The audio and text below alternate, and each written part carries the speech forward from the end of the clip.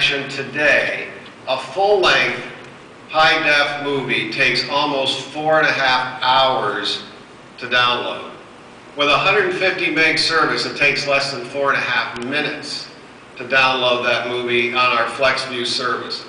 And our engineers have successfully tested one gig speeds using that exact same FiOS architecture that we use to provide service today.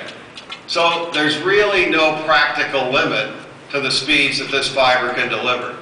We think fiber to the home will change the way we think of the home media experience and open whole new frontiers for growth and innovation in our industry.